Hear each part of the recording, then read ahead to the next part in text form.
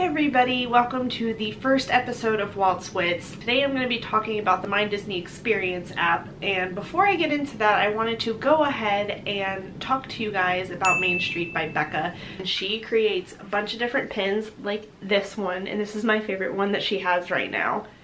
I do have a discount code and it's a 10% code. All you gotta do is go to her site if you want these buttons the discount code is Michelle. I'll link everything down below for you guys. But let's go ahead and jump into this video. Okay, so over in the corner, I'm gonna be showing you guys what exactly I'm doing on my phone.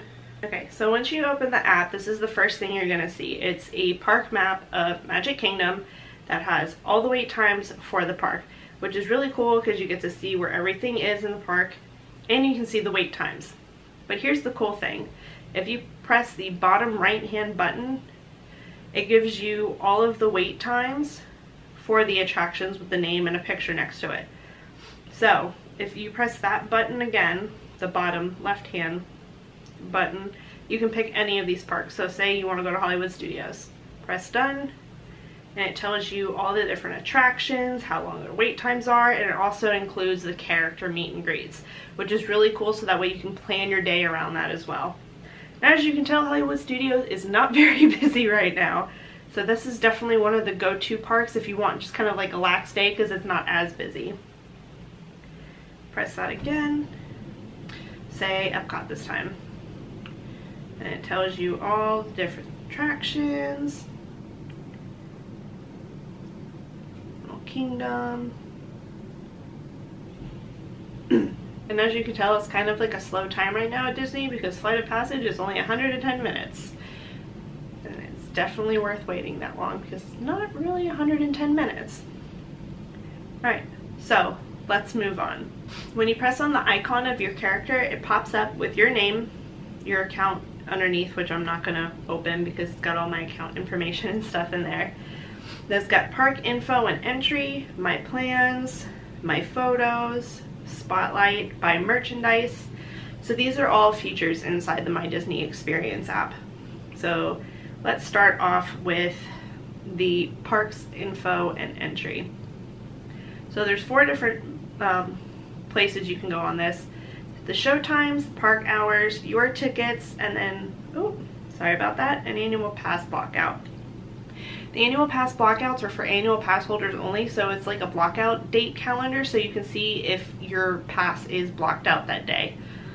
Uh, buy tickets, obviously you can buy tickets through this app so that way you don't have to like go up to the kiosks every single time.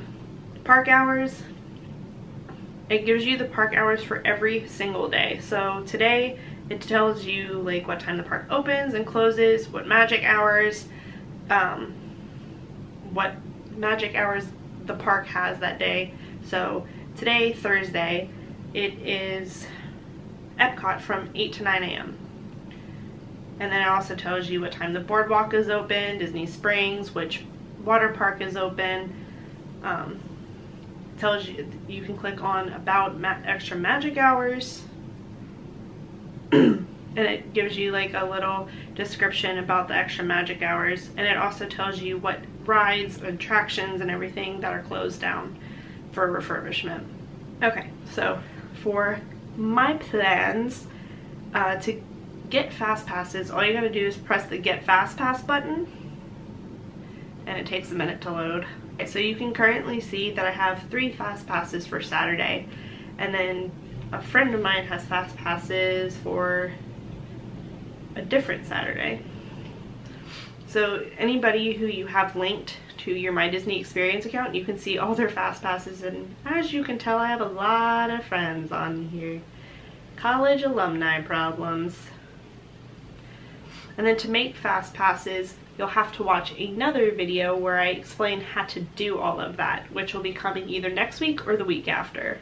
Also on this app you can make dinner reservations for any restaurant on property. Now, it is very, very difficult to get certain reservations for certain restaurants, which I'll do also in another video. But basically, all you gotta do is type the, or press the plus sign for however many people are in your party. And I'm just gonna put one for now. Press whatever day you want, breakfast, lunch, or dinner. And then it brings up all of the different restaurants that you can make a reservation for and the times that they have available. And I might point out, for those of you who do know how to use the My Disney Experience app, there is reservations available for Saturday for Be Our Guest for breakfast. So if anybody's looking for guests, uh, for reservations for that, it's at Be Our Guest. It's on the app.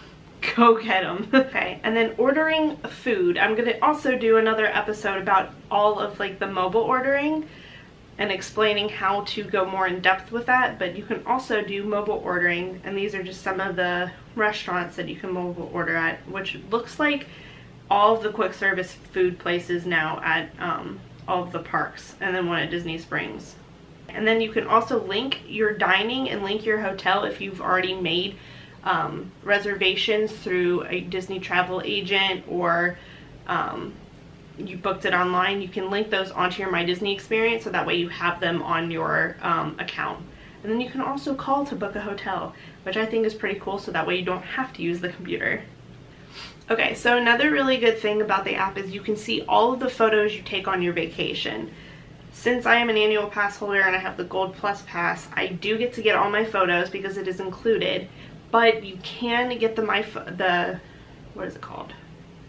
you can get the photo pass um, addition to your packages so that way you can get all your photos. And I honestly would suggest getting them that package at the last day of your trip. So that way you have all of the photos from your trip so you're not wasting money every single day of your trip. But all you gotta do is click see all photos I've noticed this part of the app has been kind of wonky lately because I guess so many people have been using it so it might take a second for this part to load. I don't know if it's gonna load. But you can also link your photos and also do the PhotoPass code. So when you're at PhotoPass, sometimes if you don't have your key or a magic band, they'll give you like a little um, paper plastic um, pass card and you can just scan it from your phone so that way you can get your photos on your app. And since as you can tell I can't see my photos right now um, they're they're there. I've gotten them recently. I don't know why it's not working for me but that's how you would get them.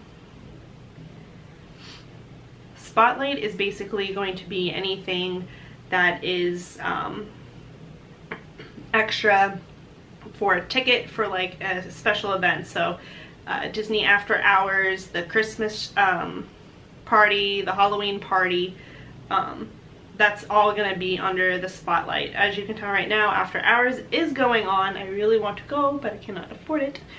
But if you want to get tickets for that, you can buy them for uh, yourself through the app. Right, and then the last part is buying merchandise. So you have to download a separate app for this. It's the Shop Disney Parks app, but basically you can type in, like, say you see a t-shirt that you want, you can type in um, Mickey vintage t-shirt or something like that and it'll tell you exactly where you can find that specific shirt, where it is, how much it is. Let me see if I can get it to work. Yeah, no. It's not gonna work because I don't have the app anymore. Another cool thing that I forgot to add, okay, so we're on the Animal Kingdom. It's got the attractions. It tell, this is the cool part of the app. Oh, hold on. Magic Kingdom. They're still open.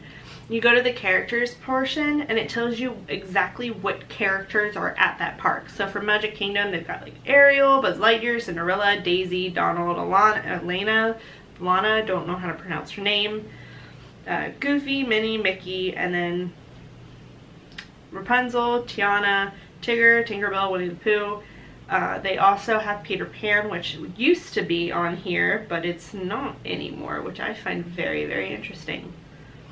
And then you can see what dining uh, Magic Kingdom offers or whatever park you're looking at on the app, where all the restrooms are, which is really nice because for those of you who are new and have never been to Disney, there's bathrooms everywhere, just like there's trash cans everywhere. That's why you don't see that much trash all over the floor.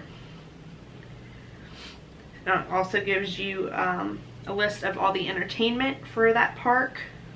So you can go through and see uh, what time Happily Ever After is, the Main Street Philharmonic, Philharmonic at Main Street, all this fun stuff that they have at Magic Kingdom. Also see what tours they offer for the parks, which is pretty cool because I want to take a tour really badly. But it tells you like um, tours they have and it gives you the price per person. So that also helps. So if you want to do one of these, save up because they're pretty expensive.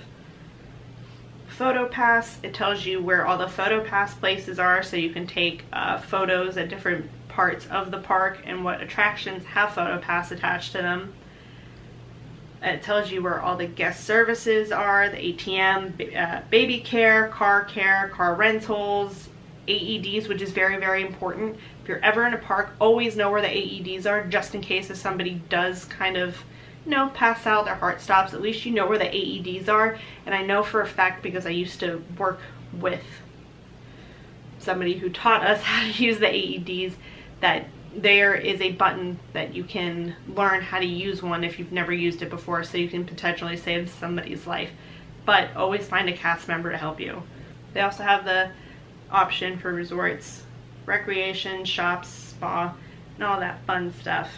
And if you're looking for something specific, you can um, go to the top part and type in search. So um, say you're looking for Ariel. Type it in. First thing that shows up is meet Ariel at her grotto. And then for some reason it's got all these different restaurants underneath it and then her ride. So it's fairly uh, user friendly. I absolutely love this app. So I hope you guys learned a little bit about something um, from this video. If you guys have any more questions, leave them down below. I can kind of go into more detail, but that's basically pretty much it. If you like this video, give it a thumbs up, subscribe down below, and I will see you guys next week for another Walt's Wits video. Remember, live your life on the brink. Bye guys.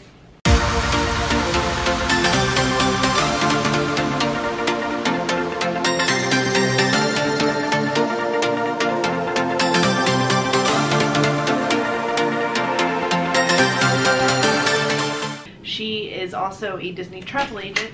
Bye.